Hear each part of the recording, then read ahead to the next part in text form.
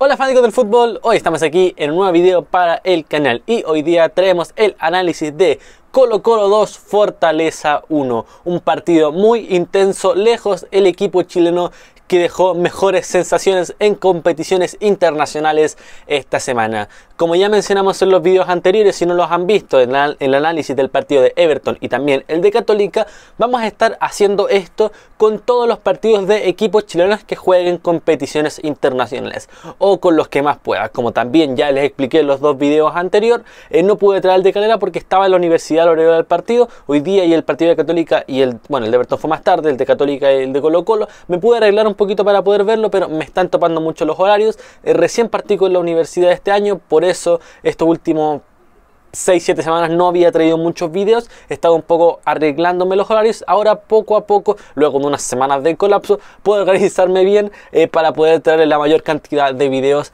eh, que se me sea capaz de producir. Ahora, sin nada más que decir y sin alargar tanto el video, vamos allá.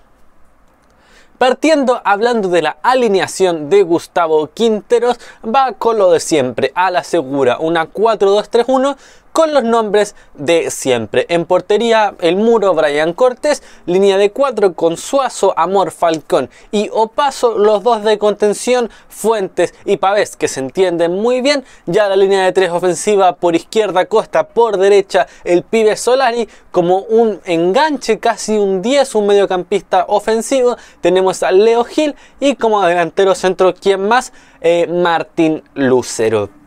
Una muy buena alineación, lo que estamos acostumbrados a ver en Colo Colo. Quintero se casó ya con estos 11 en la alineación. Muy rara vez se ve algún cambio. El que podría ser que entrase eh, volado. Fuera de eso, raro otro eh, nombre en la alineación inicial de Quinteros. Ya viendo el minuto a minuto y analizando un poquito el partido por encima, tuvimos un un juego muy intenso por parte de Colo Colo, una dominancia todo el primer tiempo, podría decir los primeros 60 minutos completamente del cuadro albo, dominó a Fortaleza en Brasil, se impuso frente a los locales y lo hizo de muy buena manera. Eh, la verdad, los primeros minutos fueron todos de Colo Colo, una presión muy alta, un juego dominado, tuvieron muchas, muchas ocasiones claras, habrán sido cuatro clarísimas, eh, Fortaleza no había tenido nada claro y en eso llega el gol de quien más, el 9 de área, Juan Martín Locero a través de una asistencia de Gabriel Costa. Una muy buena jugada, si es que puedo se la estaré mostrando en pantalla, si es que logro conseguir eh, las jugadas de algún lado.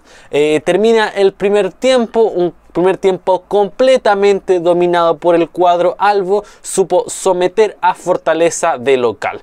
Ya iniciando el segundo tiempo tenemos el gol de Pablo Solari luego de un contraataque, un muy buen gol tras asistencia de Leonardo Gil, gol que partió por una jugada de Juan Martín Lucero. Estuvo presente en los dos goles, uno directamente haciéndolo y el segundo indirectamente partiendo el contraataque. Luego de ese segundo gol se empezó de a poco a caer Colo Colo, eh, ya hasta el minuto 60 dominó, después se notó mucho el cansancio, muchos dicen la humedad de jugar en Brasil, muchas cosas en contra y al minuto 60 Fortaleza tomó las riendas del partido, pero no le sirvió de mucho. Más adelante, ya casi finalizando el partido, bueno, minuto 70, eh, pone el 2-1 eh, en el marcador, descuenta y de ahí se vinieron minutos críticos para Colo Colo. Los últimos 20 minutos fue dominancia total del cuadro brasileño, pero Gustavo Quinteros de muy buena manera supo hacer algunos cambios eh, para que el equipo empezase a jugar un poco más defensivo y aguantar el resultado. El primer cambio que se vio fue justito antes del primer gol que entró Matías Saldivia por Leonardo Gil, entró eh, un central. Eh, si es que no me equivoco, entró Saldivia eh, después ya más adelante tuvimos el cambio de Juan Martín Lucero que tuvo un partidazo, uno de los mejores del cuadro albo. Entró eh, Volados, uno de los jugadores que a veces es recurrente en el once inicial, sino siempre está entre los primeros tres cambios. Eh, por Juan Martín Lucero es que tuvo un partidazo, pero ya se notaba bastante cansado. Y el mismo minuto entra Carlos Villanueva por Gabriel Costa.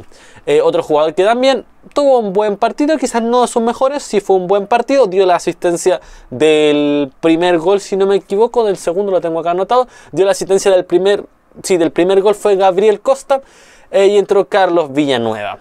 Eh, ya finalizando el partido sacó a Pablo Solari que también tuvo un partido bastante destacado. Y ahí entró Cristian Santos, claro, había sacado a Martín Lucero por volados, ahora tenía que entrar un centro delantero para mantener un poco la formación. Luego al minuto 91 eh, vino la, expulsión de Emiliano Amor, lamentablemente venía en el metro en ese momento, no pude ver la expulsión, eh, me comentaron que fue porque primero lanzó la pelota lejos y en la misma jugada después interpuso la jugada y le sacaron doble amarilla no vi eh, la expulsión justo, estaba viéndolo por Facebook en el metro mientras venía de vuelta de la U. No pude ver eh, los últimos tres minutos del partido. Del 88 en adelante, lamentablemente, no pude ver. Eh, sí que al final vi una repetición de una jugada clarísima que se perdió Fortaleza frente a la línea, luego de un palo y que tiró para afuera el remate cuando estaban todos los jugadores amontonados en el área destacar muchos jugadores. Para mí, a mi parecer, lo que vi del partido, Brian Cortés, uno de los mejores. Cuando el Colo Colo estaba 2-0 eh, o 1-0, se vieron muchas intervenciones de Brian Cortés claves. Tuvo muy buenas atajadas. Cada vez se está afianzando más en el arco de Colo Colo, luego que de temporadas anteriores a 2020 había sido muy criticado, que no merecía estar en el arco de Colo Colo, temporada 2021 se afianzó y ahora 2022 está demostrando ser el mejor arquero del fútbol chileno. Eh, nada, la defensa bastante firme o paso, yo puedo decir que es el que jugó bastante bien, nada que decir, pero si tengo que decir que alguno estuvo un poco más bajo por decir unos paso, pero los cuatro impecable. El mediocampo, la verdad, Fuentes con Pavés muy bien, muy firmes ambos juntos. Leo Gil, nada que decir. Eh, Costa y Solari bastante bien y Lucero participó en los dos goles, el primero convirtiéndolo y el segundo de manera indirecta creando la jugada del contraataque. Eh, con esto Colo Colo queda puntero del grupo junto a River Plate. Eh, por diferencia de goles queda primero, ambos con más 1 y 3 puntos. La razón por qué Colo Colo está primero antes que River es porque hizo dos goles eh, y River 1. Es verdad que Colo Colo recibió uno, por eso la diferencia queda para ambos con uno positivo. Pero al momento de convertir más goles queda primero Ojo, es la primera fecha, queda mucho por recorrer, pero la verdad le veo bastante fe a Colo Colo. Siento que es el equipo que está mejor armado y que sí puede pelear un pase a las fases siguientes eh, de grupo. Eh, perdón, las fases siguientes sea octavos y por qué no soñar con un cuarto de final nuevamente. Más que eso, lamentablemente al fútbol chileno, siendo muy objetivo, eh, no le veo mucho futuro si tenemos mucha, mucha suerte en los sorteos o los equipos están en serio muy bien motivados, votando en parte un poco la liga, podríamos ver una semifinal, pero lamentablemente el fútbol chileno está en un nivel bastante bajo en comparación a lo que son los equipos argentinos y brasileños que llevan dominando las competiciones internacionales sudamericanas hace muchos, muchos años. Fuera eso, ¿hace cuántos años no vemos a un equipo eh, que no sea brasileño y argentino ganar una Libertadores? Eso ya dice mucho. ¿Y ustedes qué opinan del partido de Colo Colo? ¿Merecida victoria? ¿Creen que va a seguir con esta racha o solo fue un inicio bueno y después se va a desinflar? Tres puntos para Colo Colo, muy importante ya que ganó tres puntos de visita. Si es que con esto puede lograr también ganar en el Monumental, que eh, en el papel luego de este partido sería evidente que debería sumar tres puntos en el Monumental y contra el equipo peruano Alianza Lima sumar seis de local y de visita, ya tendría un pie con esos 12 puntos dado por perdido los dos partidos con River Plate, perfectamente podría pasar a lo que son eh, los octavos de final sin ningún problema. Muy buenas sensaciones por parte de Colo Colo. Quinteros está demostrando ser un muy buen técnico y con esto eh, se suma como candidato o mantiene su candidatura para la selección chilena. No sé qué opinan ustedes, pero los hinchas de Colo Colo creo que no lo ven de muy buena manera, ya que van a quitar un técnico muy bueno. Para la selección chilena yo lo vería bastante bueno. Quizás no es el mejor candidato, hay que dejar las cosas claras, pero sí uno muy bueno, quizás no tan realista.